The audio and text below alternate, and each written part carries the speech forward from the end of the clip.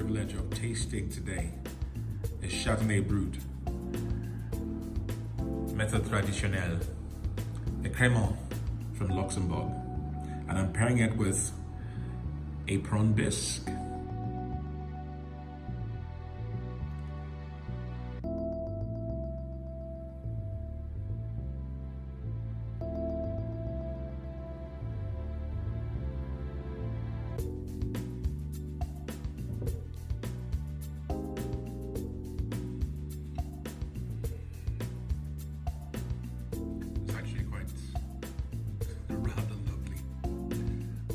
this is going to be available for the Christmas period in Nigeria. I can tell you that many people enjoy this champagne. I'm sorry, this Crémant. because quite frankly, there's no difference between the two. And Chardonnay, as for the aficionados, is the champagne grape. And this is made from pure Chardonnay. It's a single grape champagne, it's not blended at all.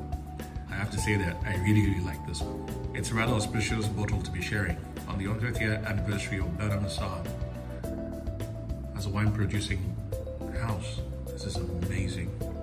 It's also not completely dry, slightly, just a bit fruity. Yeah, it's got a long finish.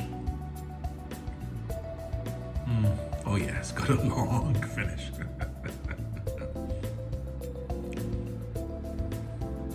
Definitely citrusy.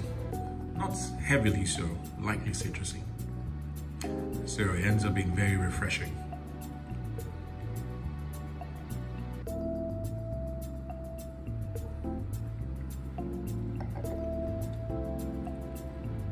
I think there's a hint of green apple there. Just a bare hint. Yeah, lemony.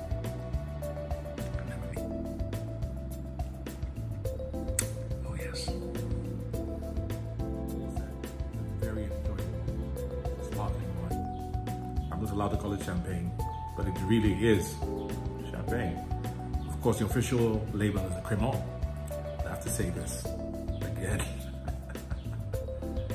really, really nice. And I do hope that uh, they have enough of a supply for the Christmas period because I tell you, this is definitely very celebratory.